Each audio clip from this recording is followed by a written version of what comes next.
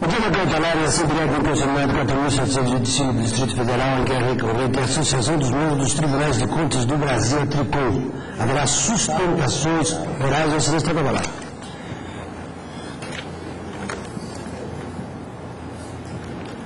Trata-se, senhor presidente, de ação direta de inconstitucionalidade com pedido de medida cautelar ajuizada pela Associação dos Membros dos Tribunais de Contas do Brasil, a TRICOM, objetivando a declaração de inconstitucionalidade dos artigos 32, inciso 1, 33, inciso 2 e 9, 40, parágrafo único, inciso 2, 41, 41A, parágrafo 1, inciso 1, 47A, 49, parágrafo único, 62, enfim, uma lista imensa de dispositivos ah, da Constituição Estadual de Roraima, nela incluídos pela mesma emenda constitucional número 29 de 2011, bem como da lei estadual número 840 de 18 de janeiro último. Esse tem um dos dispositivos impugnados. Tipo 32. Cabe à Assembleia Legislativa, com sanção do governador, dispor sobre todas as matérias de competência do Estado, especialmente sobre, primeiro, a organização administrativa do Poder Executivo, do Poder Judiciário, do Ministério Público, do Ministério Público de Contas e da Defensoria Pública do Tribunal de Contas do Estado, às autarquias e fundações públicas, respeitada a iniciativa. Artigo 33 é da, competência exclusiva da Assembleia Legislativa.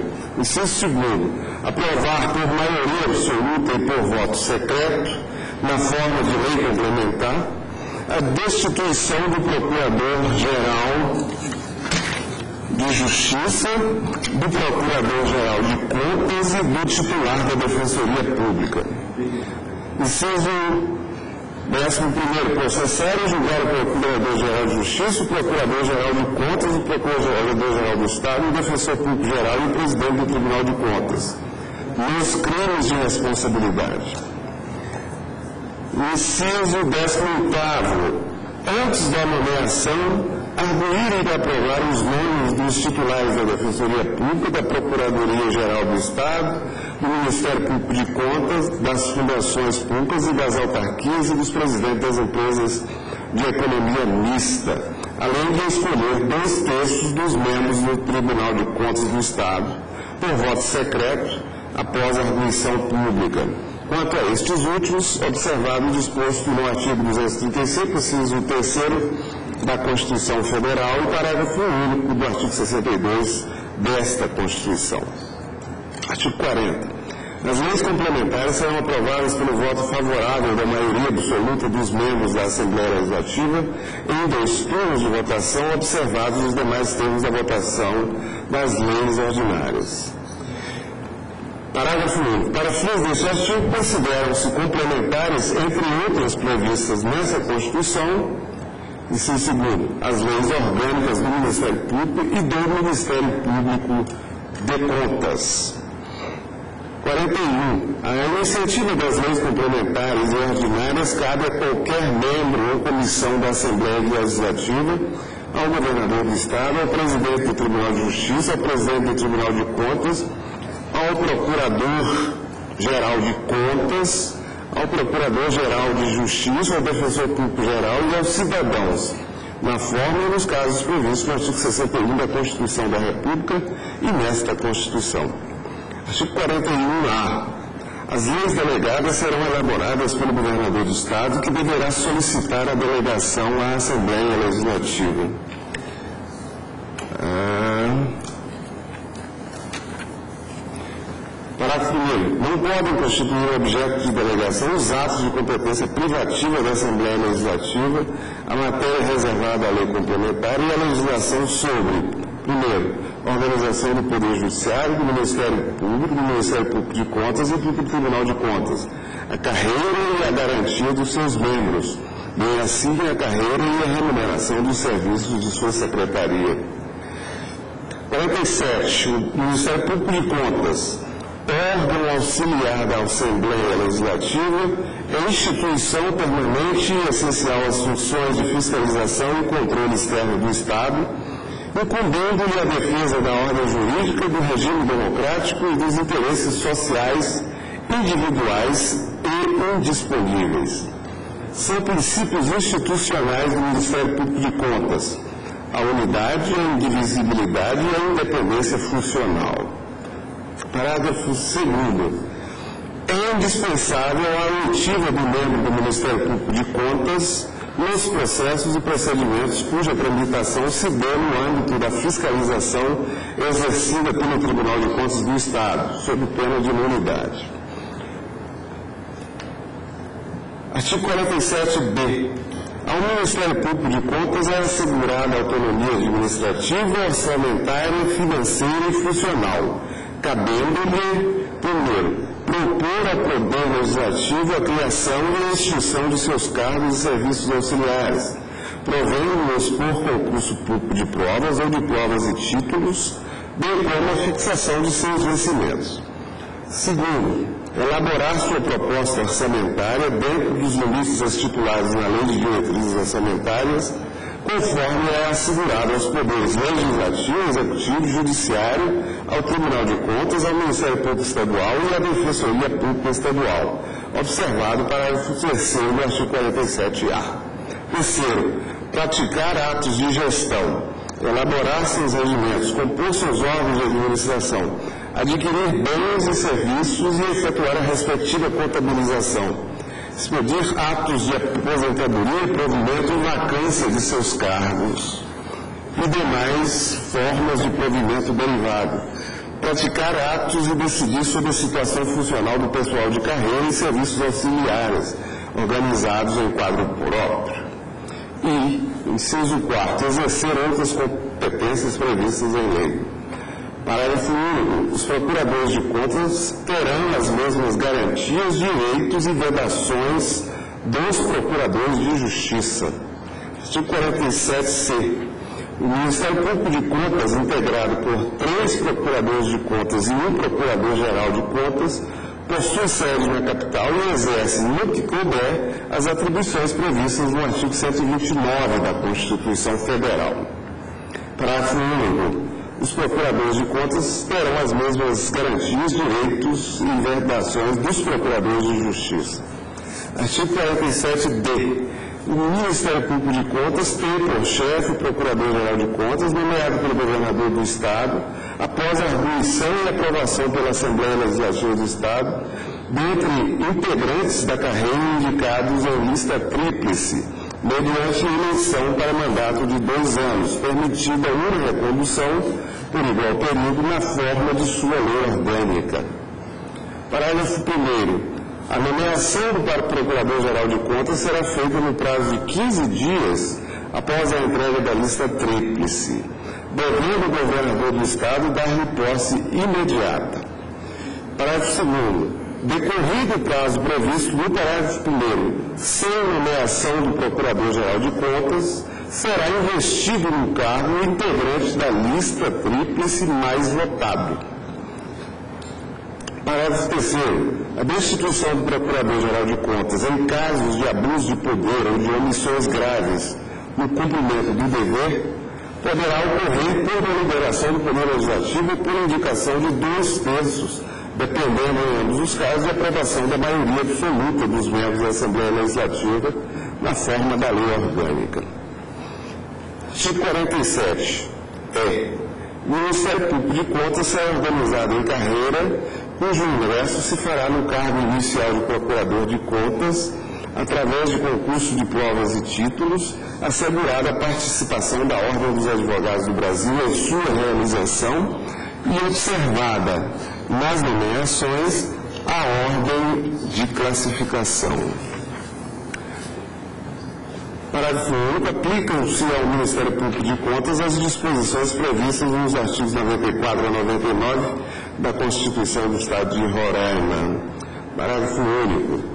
O controle externo a cargo da Assembleia Legislativa do Estado será exercido com o auxílio do Tribunal de Contas do Estado e, em caso de necessidade justificada pela mesa diretora, do Ministério Público de Contas, competindo-lhes a promoção da ordem jurídica, além de outras definidas em lei. Artigo 62. São atribuições privativas do governador de, de, de Estado. Inciso 16. Nomear o Procurador-Geral de Justiça e o Procurador-Geral de Contas dentre os integrantes da carreira indicados em lista tríplice, elaborada pelos respectivos Ministérios Públicos na forma de suas leis complementares. Compete ao Tribunal de Justiça do Estado processar e julgar originariamente, dentre outros, os membros do Ministério, do Ministério Público de Contas e os prefeitos municipais, ressalvada a competência da Justiça Eleitoral. Os conflitos de atribuições entre autoridades judiciárias e administrativas, quando forem interessados o governador, os prefeitos municipais, a mesa da Assembleia, o Tribunal de Contas do Estado, o Procurador-Geral de Justiça e o Procurador-Geral de Contas.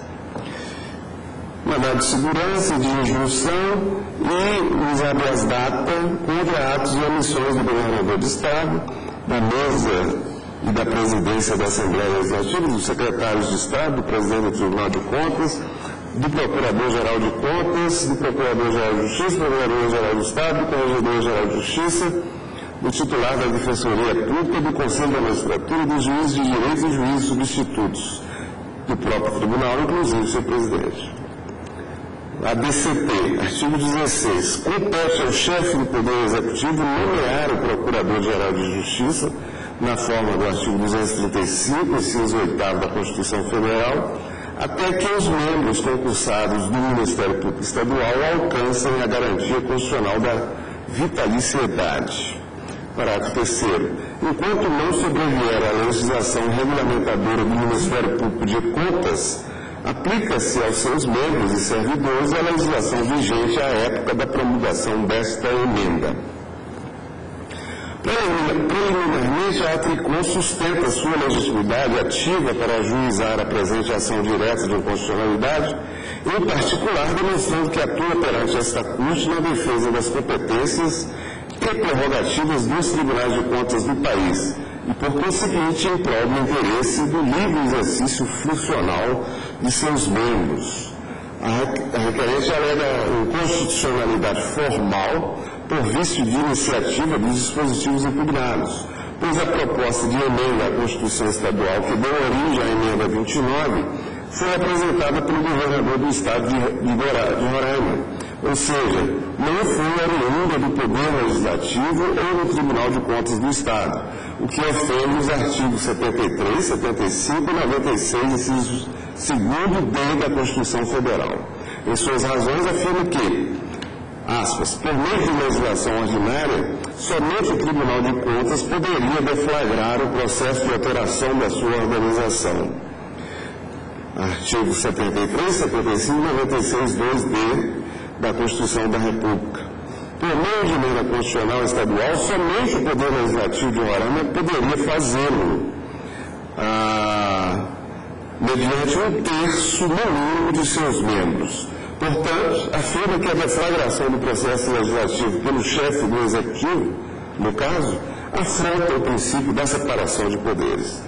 Por outro lado, entende que a referida emenda constitucional estadual incide em inconstitucionalidade formal por vício de competência para legislar, no que se refere ao artigo 33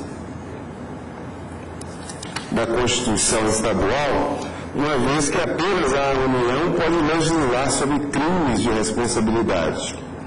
A referente ainda a inconstitucionalidade material dos referidos dispositivos, por ofensa aos artigos 73, 75 e 130 da Constituição Federal, porque estabelecem, aspas, a autonomia administrativa, orçamentária e financeira do Ministério Público de Contas, reconhecendo-lhe prerrogativa de autogestão, de iniciativa de projetos de lei, de compartilhamento na nomeação e, de, destituição de seus membros, tudo sem paralelo na Constituição da República, fecha aspas.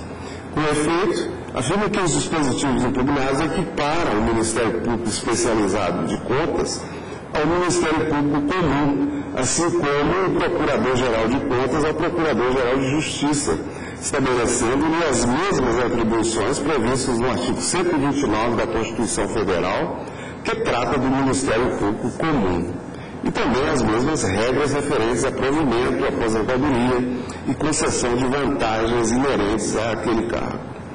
Acrescenta que a emenda à Constituição Estadual, ao elevar o Ministério Público de Contas à condição de órgão auxiliar do Poder Legislativo, vulnera o artigo 71 da Constituição Federal, que confere esse mistério apenas, que confere esta condição apenas ao Tribunal de Contas, ao qual pertence o Ministério Público de Contas. Afirma que, nos termos do artigo 75 da Constituição Federal, o modelo adotado pela Constituição Federal acerca dos tribunais de contas é de observância obrigatória pelos Estados-membros.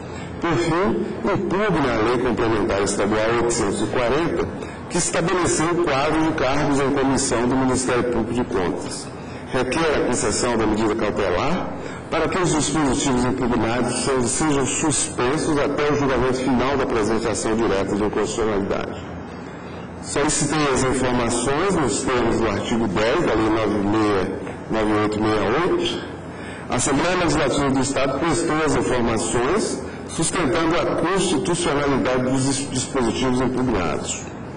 Afirmou inicialmente que, ao entender que as atividades desenvolvidas pelo Ministério Público de Contas de Roraima estavam sendo mitigadas pelo Tribunal de Contas Estadual e, aspas, preocupada com as prerrogativas dos procuradores de contas, que alegaram ser impossível exercer plenamente suas funções constitucionais enquanto atrelados à Corte de Contas e fundando-se em fatos devidamente documentados e atendendo um clamor social, aprovou a unanimidade nos dois turnos a emenda, a emenda constitucional número 29, que, segundo a Assembleia, aspas, corrige uma série de distorções na Carta Estadual, fecha aspas acrescentou que, aspas, o Ministério Público de Contas de Roraima é uma instituição permanente e essencial às funções de fiscalização e controle externo do Estado,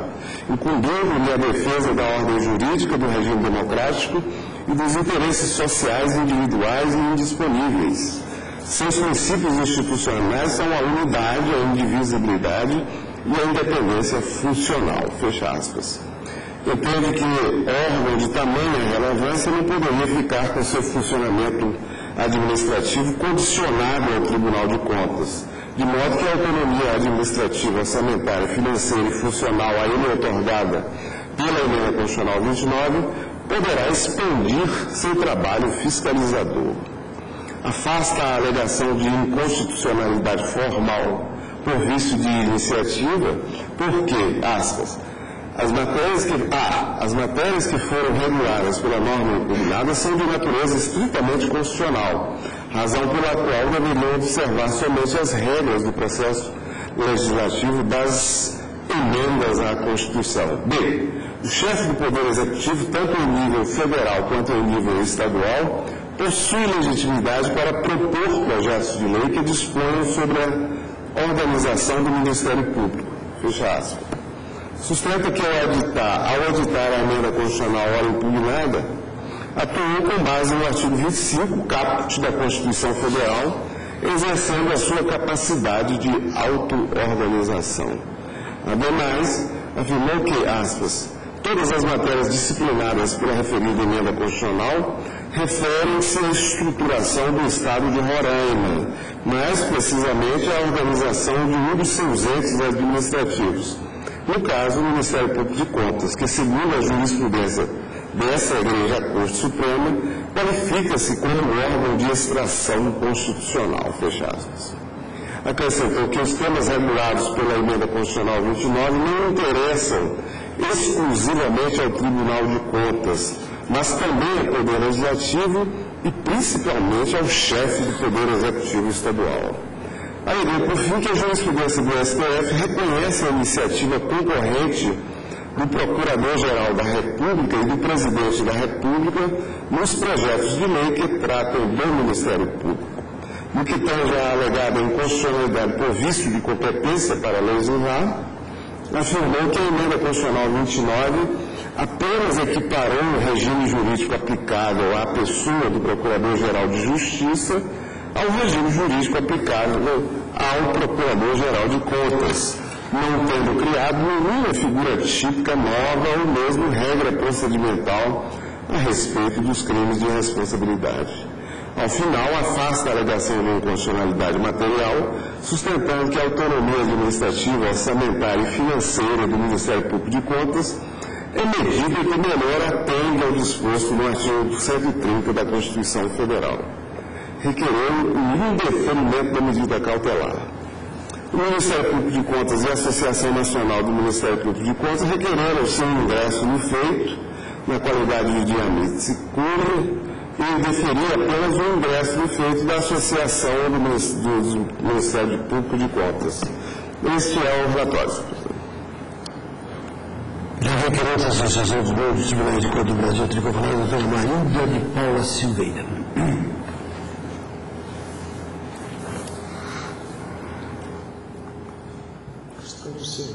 Presidente. Não, ministro tem três, vai meia sete. É. Quatro. Gustavo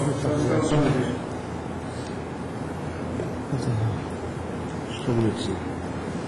Seus tempos não está correndo. Uhum.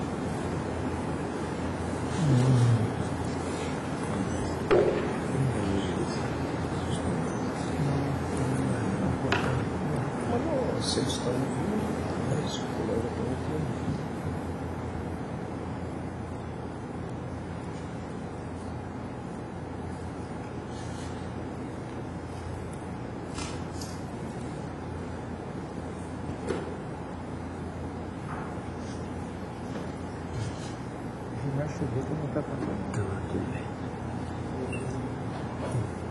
O Gilmar também está presente, está ouvindo a.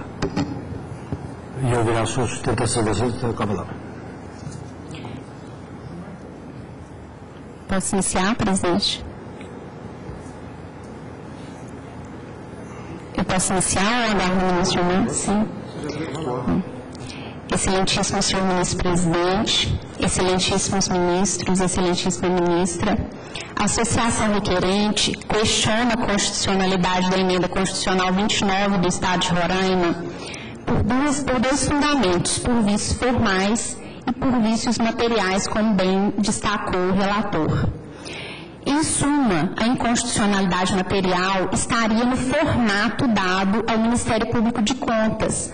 Não se questiona a relevância dessa instituição no âmbito do Tribunal de, Contas. Questiona-se apenas o formato inconstitucional que a emenda deu a essa instituição.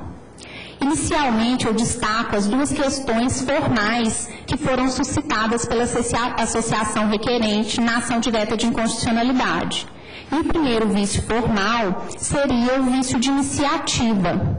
Embora a Constituição não deixe claro qual é a competência para iniciar leis do Tribunal de Contas, a gente pode extrair essa competência de uma interpretação teleológica da Constituição. No artigo 73, existe a referência à iniciativa para tribunais superiores, e a gente extrai dessa competência dos tribunais superiores para iniciar leis que regulamentam a sua estrutura, a competência do Tribunal de Contas da União. Entende a requerente que, por similaridade, essa competência também tem que ser respeitada para os tribunais de contas estaduais. E lá no 73, portanto, há referência ao artigo 96, que elenca as competências que seriam, então, da iniciativa, ou as matérias que seriam da iniciativa do Tribunal de Contas. E entre elas estão várias das competências que foram reguladas por essa emenda 29, que são as competências de organização, de criação de cargos, de estruturação administrativa do Tribunal de Contas. Essa corte teve oportunidade de analisar essa questão extensamente na ADIM que tratou do, do Ministério Público de Contas no Tribunal de Contas da União. Naquela oportunidade, essa corte destacou que o Ministério Público de Contas, ele fazia parte da estrutura administrativa do próprio Tribunal de Contas. Então, se estamos falando de estruturação do, de um órgão do próprio Tribunal de Contas, a ele caberia a iniciativa para propor essa alteração legislativa. É verdade que essa matéria está regulada, esse entendimento, ele é direcionado a leis ordinárias ou a leis complementares. E aqui eu cito a ADIM 4421, de relatoria do ministro Dias Toffoli, e a ADIM 1994. Sustenta, então, a parte contrária que, para emendas constitucionais, esse entendimento não se viabilizaria. No nosso entendimento, no entendimento da requerente, que sustenta a inconstitucionalidade, ainda que não fosse de competência do Tribunal de Contas a iniciativa para essas alterações, então a competência seria do Poder Legislativo, porque ele é que é o competente para iniciar leis é, modificações, aliás, na Constitucional, para iniciar o processo legislativo de emenda, especialmente considerando que o Tribunal de Contas é um órgão auxiliar desse poder. De forma alguma, o Poder Executivo poderia, então, dar início a essa alteração legislativa, como aconteceu no caso. Então, de uma forma ou de outra, seja porque a competência da iniciativa seria do Tribunal de Contas, seja porque ela é do Poder Legislativo, essa norma padece de inconstitucionalidade pelo vício de iniciativa. Em segundo lugar, o último vício de iniciativa que se sustenta é de competência para dispor sobre crimes de responsabilidade. Essa competência é clara na Constituição, não é preciso maiores divagações, está lá no artigo 21, inciso 1, e é simulada por essa Corte na súmula 722 aqui do STF. De fato, não houve a criação de outros tipos de crime de responsabilidade, mas se inseriu no rol de pessoas que são atingidas pelos crimes de responsabilidade a figura do Procurador-Geral de Contas e, sem dúvida nenhuma, incluir alguém no rol de pessoas que são atingidas por um crime de responsabilidade é regular ou é legislar a respeito da matéria crime de responsabilidade. Portanto, é inconstitucional a norma nesse ponto, porque usurpou a competência da União para legislar a respeito da matéria. Ultrapassadas as questões formais, a requerente entra no mérito da constitucionalidade dessa emenda constitucional 29 e separa em quatro pontos a inconstitucionalidade e como os artigos já foram lidos, para não cansar todos, a gente não vai entrar em cada questão especificamente, mesmo porque a inconstitucionalidade seria inconstitucionalidade genérica para a estruturação de uma forma diversa daquela que a Constituição diz para o Tribunal, para o Ministério Público de Contas, no âmbito do Tribunal de Contas. São quatro. A primeira inconstitucionalidade seria relativa à violação dos artigos 73, 75 e 130 da Constituição. Essa violação, ela se materializa de diversas formas, em diversos dispositivos da emenda constitucional, como o relator ministro Joaquim Barbosa destacou. Eu vou destacar aqui três pontos em que materialmente essa organização administrativa, ela se materializa. O primeiro deles é no artigo 70 47, aliás, desculpem, B, da emenda constitucional, da Constituição alterada pela emenda constitucional. Ele destaca expressamente que a modificação pretende atribuir ao Ministério, ao Ministério Público de Contas autonomia administrativa e financeira essa autonomia administrativa e organizacional, ela é incompatível com o formato que a Constituição deu ao Ministério Público de Contas. Portanto, é expressa, não há dúvida quanto à pretensão de se atribuir essa autonomia a esse órgão, o Tribunal de Contas. Em segundo lugar, cria-se uma Procuradoria-Geral de Contas com lista formada pelo próprio Ministério Público de Contas e o equipara à Procuradoria-Geral de Justiça o que viola o artigo 60, o que está previsto, aliás, no artigo 62, inciso 16.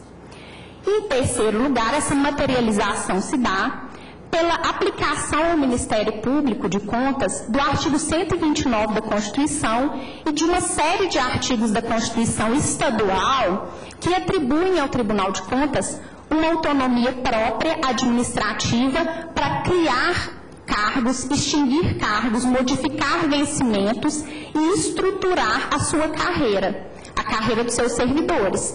É exatamente o caso da lei que se pretende inconstitucional por arrastamento, que é a Lei 840 de 2012. Por que esses dispositivos ou essa materialização de uma autonomia contrariam a Constituição? Porque a requerente entende na mesma linha que esse tribunal já entendeu, na ADIM, que tratou sobre o tema Tribunal de Contas da União, que é a 789, que quando a Constituição se refere ao Ministério Público de Contas, ela, na verdade, ela atribui uma diferenciação subjetiva para aqueles que compõem o Ministério Público de Contas. Nas palavras do ministro Celso de Mello, essa referência na Constituição ao Ministério Público de Contas seria uma cláusula de garantia meramente subjetiva, desprovida de conteúdo orgânico institucional. E o que, que isso quer dizer? O que é bem especificado e aprofundado no voto. É que não é que não há diferença entre o Ministério Público de Contas ou não haja e os demais órgãos do Ministério Público há, mas a diferença ela é dada pelos membros e por aqueles que compõem o Ministério Público de Contas. Isso não faz com que ele tenha uma estrutura, uma organização diferente. Ele não pode ser destacado do corpo do Ministério Público e menos ainda do corpo do Tribunal de Contas da União. Isso foi muito bem explicitado nessa ADIM e é o que a requerente traz agora, nesse momento. É pacífica, eu posso dizer, a orientação desse tribunal em casos semelhantes a esse, eu vou citar pelo menos três do estado de Goiás, em que houve a mesma pretensão de autonomização do Ministério Público de Contas, que é a DIN 2378, do Mato Grosso, a DIN 3303, e do Sergipe, a DIN 2353. Nessa linha, entende-se que a interpretação da referência da Constituição ao Ministério Público de Contas é no sentido de que a diferenciação dos seus membros está na Constituição por uma razão subjetiva e não por uma razão orgânica. Em segundo lugar, a inconstitucionalidade, ela se dá por afronta novamente ao artigo 73 caput, 75, 96b e 61 caput. Porque nesse momento ela cria um Procurador-Geral de Contas e atribui a ele competência para iniciar leis que criam e extinguem cargos. Novamente, mais uma vez, aqui é referência à lei estadual que se pretende inconstitucional por arrastamento, e essa trata de cargos de comissão, que é a 840. Isso viola frontalmente o artigo 61 da Constituição, que não tem referência à competência para iniciativa de leis, do Procurador-Geral de Contas, ou sequer do Ministério Público de Contas.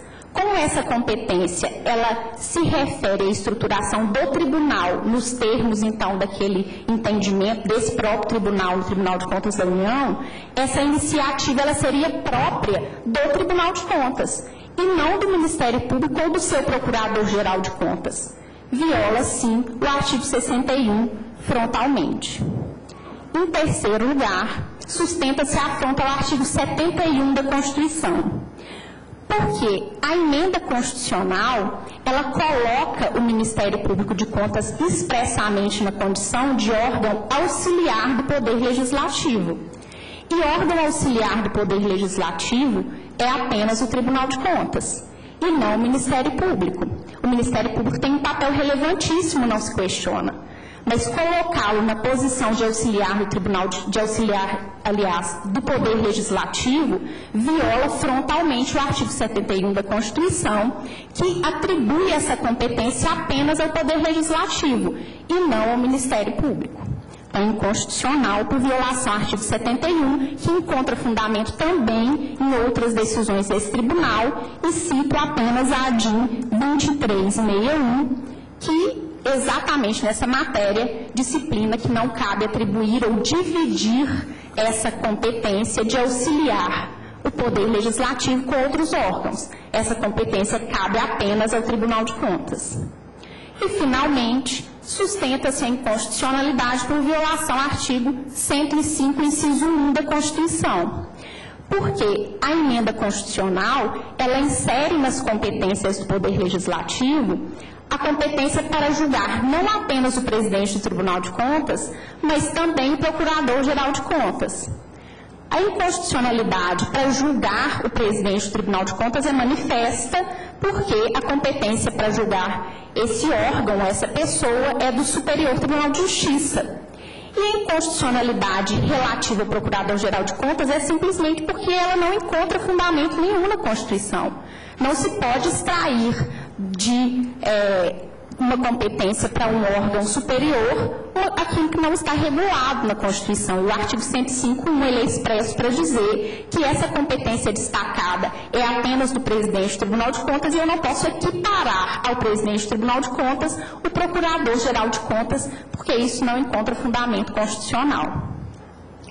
Esses fundamentos, sejam de inconstitucionalidade formal material, eles levam à conclusão, de, na sua procedência, de que também seriam inconstitucionais tanto o artigo 16, parágrafo 3 da Constituição do Estado, quanto essa lei referida a 840 de 2012. O artigo 16, porque ele estabelece regra de transição enquanto não houver regulamento para essa organização administrativa. Ora, se há inconstitucionalidade na organização administrativa, ou nessa competência, nessa estruturação, nesse destaque do Ministério Público de Contas, não se pode falar em vácuo de regulamentação. Então, por arrastamento, o artigo 16 também é inconstitucional, ele perde o sentido.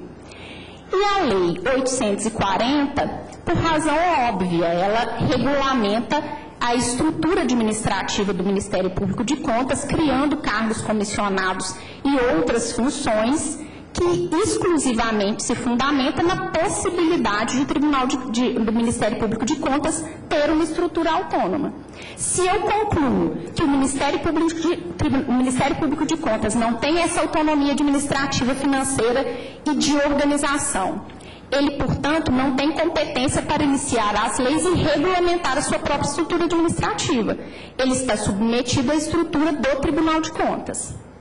Eu volto a afirmar que essa sustentação, esses argumentos, eles não diminuem nada a importância do Tribunal de Contas. Questiona-se apenas o formato que os estados têm dado à interpretação que a Constituição, as normas que a Constituição estabeleceu. É, eu, Sim, obrigado, presidente. E, finalmente, eu destaco a questão da, do perigo da demora, que nesses casos de inconstitucionalidade, especialmente pelo fato de que a lei recente, eles são dispensáveis de destaque.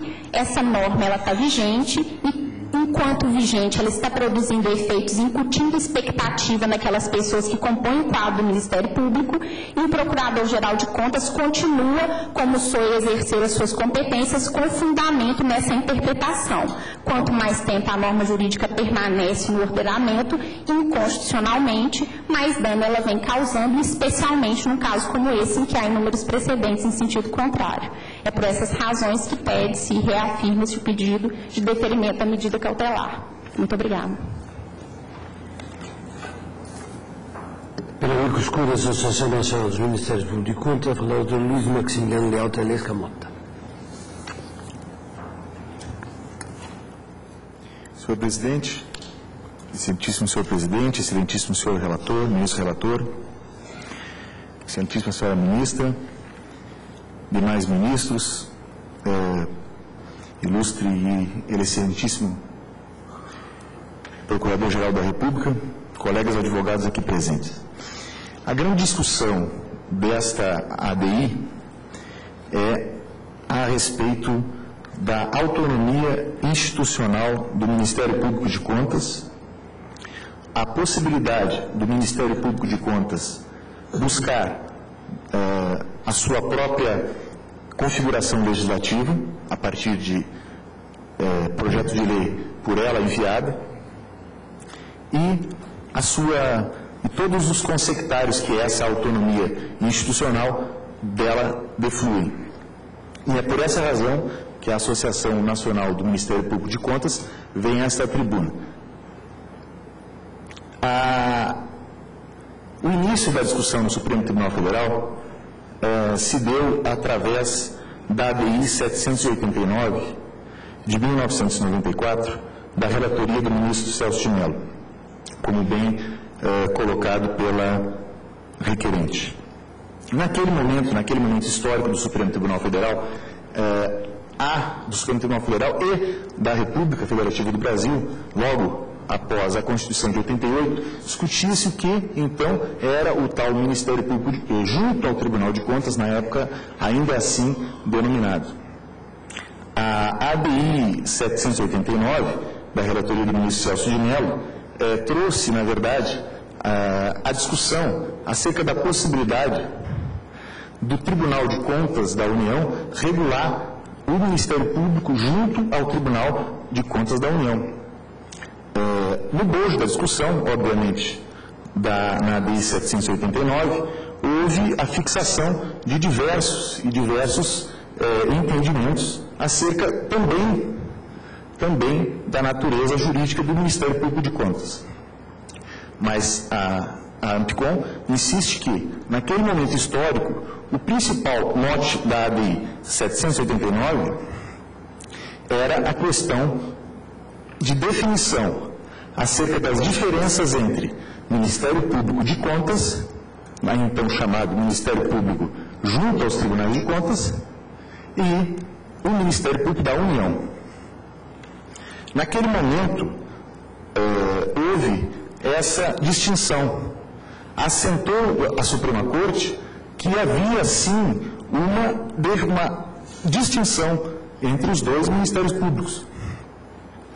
E, nessa mesma discussão, é um voto extenso, é uma discussão que até hoje é, a Suprema Corte enfrenta, assentou-se a configuração institucional do Ministério Público de Contas.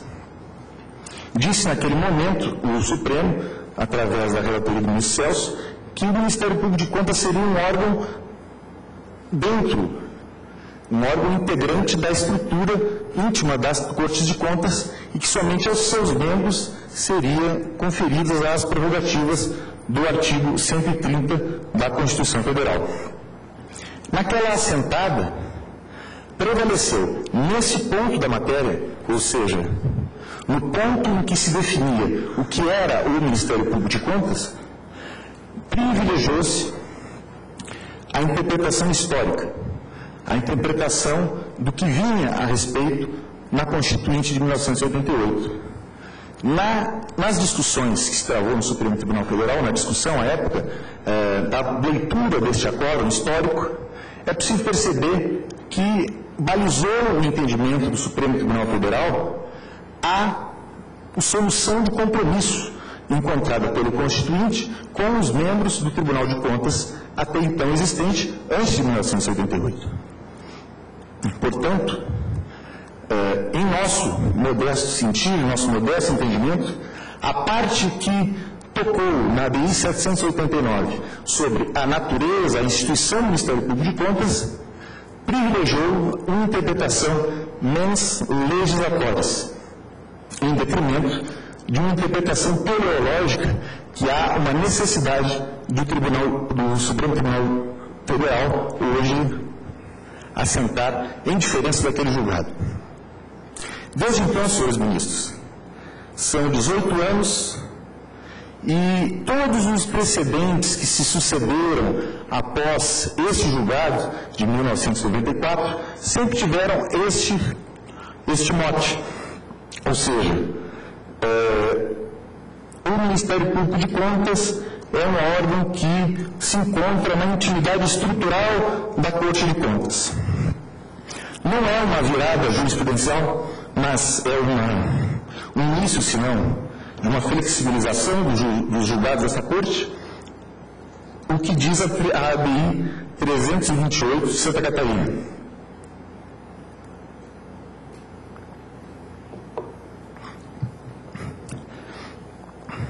Especial, cujos membros integram carreira autônoma.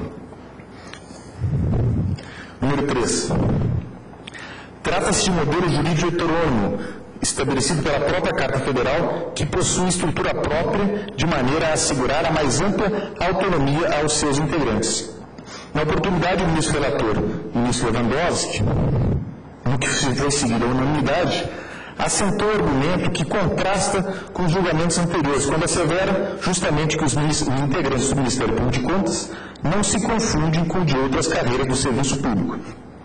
Disse então o ministro, plenário do Supremo Tribunal Federal, de seu turno, firmou o entendimento no sentido de que tais dispositivos, aplicados também aos tribunais de contas dos Estados, destinam-se a assegurar que os membros desse parquê especial possam atuar com plena autonomia. Essa garantia é reforçada pela previsão de que integrem um órgão dotado de estrutura própria que não se confunde com as de outras carreiras do serviço público. Um órgão dotado de estrutura própria.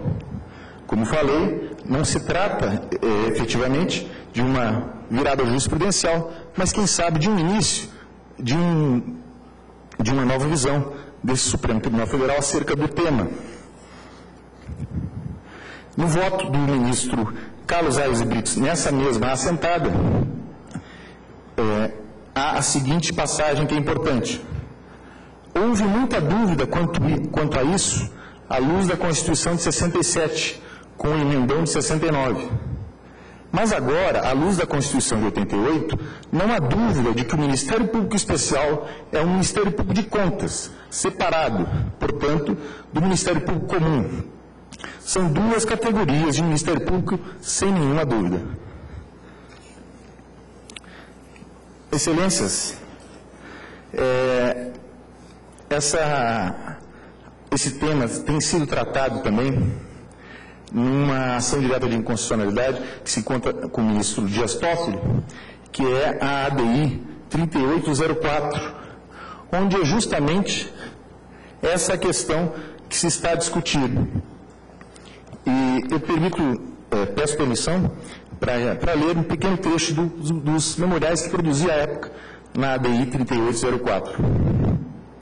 Segundo se depende da pequena, mas significativa passagem do voto do ministro Celso de Mello, as previsões constitucionais relativas ao Ministério Público de Contas, em especial do artigo 130, foram uma solução de compromisso do Constituinte com a intenção de adotar uma fórmula intermediária consistente na atribuição a agentes estatais de prerrogativas próprias do Ministério Público Comum, sem que isso significasse a possibilidade de atuação institucional independente.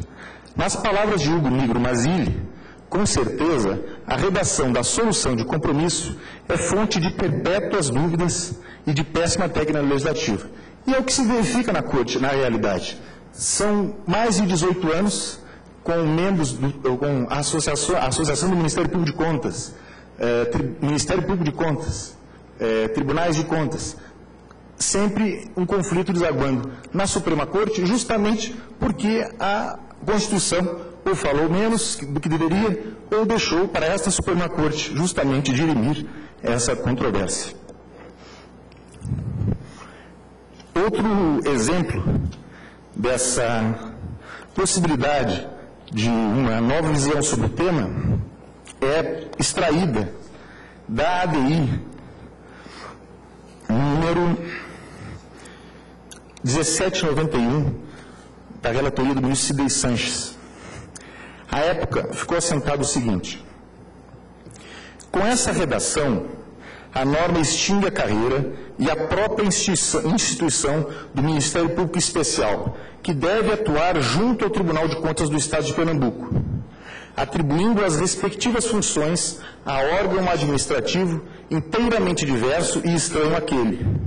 E, por essa forma, também impede que seus integrantes formem, dentre eles próprios, a lista tríplice para escolha de seu procurador-geral e que este seja investido no cargo por essa forma. E aqui o mais importante, tudo em dissonância com os artigos 73, parágrafo 2 inciso 1 75, 128, parágrafo 3 129, parágrafo 2 3 e 130 da Constituição Federal. Todos dispositivos destinados ao Ministério Público eh, Comum, geral, enfim, o Ministério Público, que não é o Ministério Público de Contas ministro Sidney Sanches, então, busca na Constituição Federal dispositivos que são próprios do Ministério Público Comum, geral, que não o Ministério Público de Contas, para afirmar a constitucionalidade, ou a inconstitucionalidade aqui no caso, de uma emenda, de uma emenda constitucional que tirava a possibilidade da escolha de lista tríplice, da formação de lista tríplice pelo Ministério Público de Contas.